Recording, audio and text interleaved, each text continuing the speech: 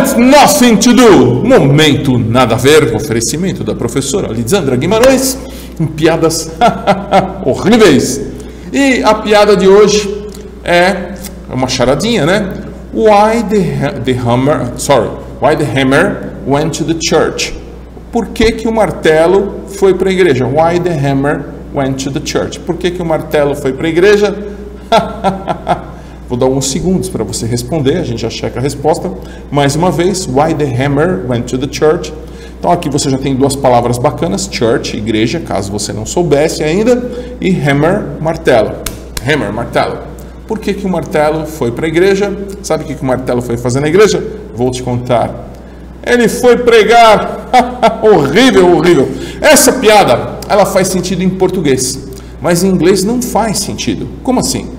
Olha, to preach em inglês é pregar, de fazer uma pregação, de pastor.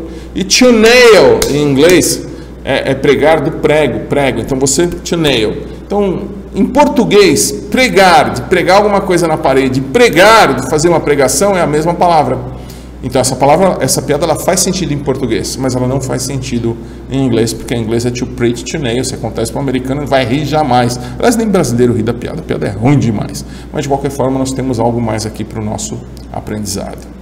Chega! Chega dessa situação de ainda não estar fluente em inglês. Agora você vai falar inglês. Tem acesso aos melhores conteúdos e cursos gratuitos do Brasil. Siga o nosso perfil, se inscreva em nosso canal, curta a nossa página.